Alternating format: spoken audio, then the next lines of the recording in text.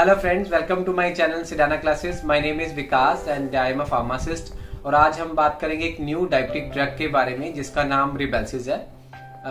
जब भी किसी पेशेंट को टाइप टू डायबिटीज़ होती है तो उसको जो स्टार्टिंग थेरेपी दी जाती है, वो मेटफोर्मिन दी जाती है, जो कि रिकमेंड की जाती है डायबिटीज़ ऑर्गेनाइजेशन के द्वारा एज वेल एज जो डायबिटीज़ की गाइडलाइन रहती है, उनके द्वारा रिकमेंड की जाती है। और जो सेकेंड लाइन ऑफ़ ट्रीटमेंट रहता है, वो रहता है जीएलपी वन एनालॉग अभी तक जी जीएलपी वन लोग जो भी इंडियन मार्केट में अवेलेबल थे, वो इंजेक्शन फॉर्मुलेशन में अवेलेबल थे तो पेशेंट को लगाने में काफ़ी दिक्कत होती थी। तो अभी जो जिस नई ड्रग की मैं आपको बात कर रहा हूँ रिबेसिस की बात कर रहा हूँ, वो ओरल जीएलपी वन लोग नोवो नोडिस द्वारा एक कंपनी ने लॉन्च किया है। रिबेसिस की डिटेल में मैं आपको बताऊँगा इसकी कंपोजिशन इसकी डोज इसके uses and benefits side effect and contraindication और कंपोजिशन से स्टार्ट करते हैं हम इस वीडियो को। जो रिबेल्सिस की कंपोजिशन है, इसमें जो सोल्ट है, वो सेमेग्लोडाइट नाम का एक मॉलिक्यूल है। जो रिबेल्सिस है, ये नोवोनोडिस कंपनी द्वारा मैन्युफैक्चर किया जाता है। ये तीन स्ट्रेंथ में अवेलेबल है। Three M G seven M G and fourteen M G tablet formulation में अवेलेबल है।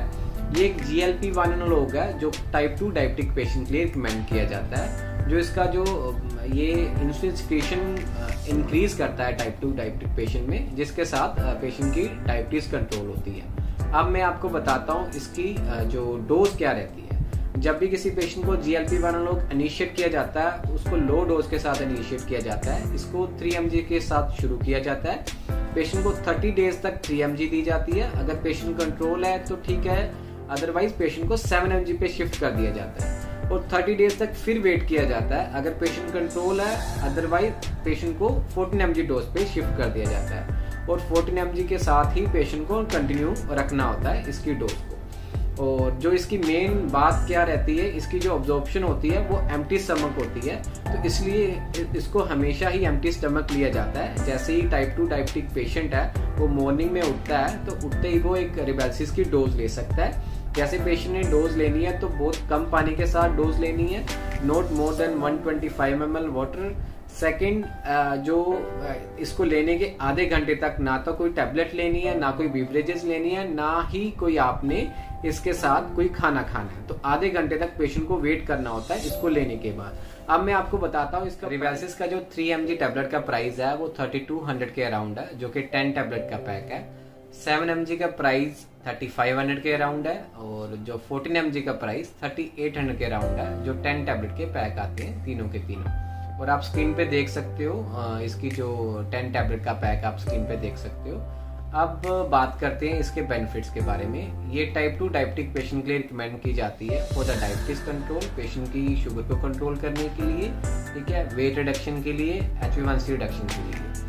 जो इसका, जो मोड ऑफ़ एक्शन रहता है रिबेल्सिस का क्या रहता है? एक तो ये पेशेंट को जब भी हम जी एल पी पे इनिशिएट करते हैं रिबेल्सिस के साथ इनिशिएट करते हैं, उस उस पेशेंट को क्या, एक तो भूख कम लगती है, जिससे क्या होता है पेशेंट की वेट रिडक्शन में हेल्प होती है। सेकेंड ये इंसुलिन सिक्रेशन में हेल्प करता है, जिससे क्या पेशेंट की डायबिटीज़ कंट्रोल होती है। अब मैं आपको बताता हूँ जो इसके साइड इफ़ेक्ट है।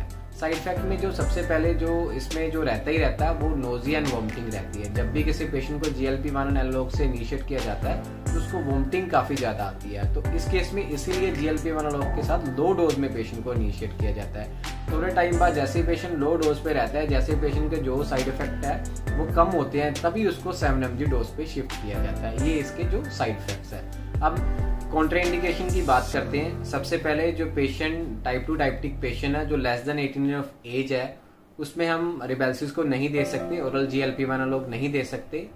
सेकंड जो भी प्रेग्नेंट वोमन है, जो टाइप टू डायबिटिक है, उसमें हम रिबेल्सिस नहीं दे सकते। थर्ड कोई भी ब्रेस्ट फीडिंग वोमन है टाइप टू डायबिटिक उसमें हम रिबेल्सिस नहीं दे सकते।